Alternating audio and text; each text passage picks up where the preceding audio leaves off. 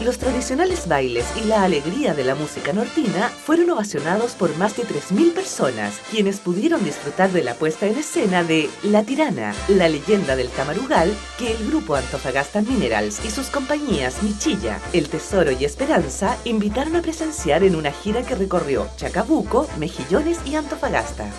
Hemos estado conversando acá con muchas personas de las comunidades, gente también, autoridades, y realmente yo creo que todos hemos quedado sorprendidos con la calidad de este grupo de presentaciones que va a hacer Alzares con la colaboración del grupo minero y particularmente Esperanza, Michilla y Tesoro. Así que muy felices. Habla de cómo nos insertamos en el mundo de la, de, la comunicación con la comunidad donde ellos son parte y creo que lo han hecho hoy día a través de este aporte cultural gigante. La oficina Chacabuco abre sus puertas para que la cultura represente en este territorio una manifestación tan importante como la que acabamos de presenciar.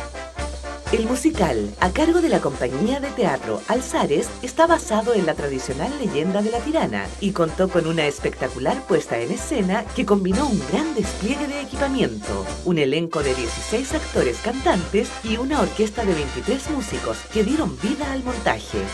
Yo no había visto nunca en realidad una obra ni acá ni en ninguna otra parte y creo que es lo mejor que pude apreciar en estos momentos. Muchas personas no no sabe la historia de la tirana en realidad lo que es, pues, y con esto quedó claro cómo es la historia. Muy lindo, algo nuevo acá en el norte, se ve muy poco y deberían traer cosas novedosas más seguido.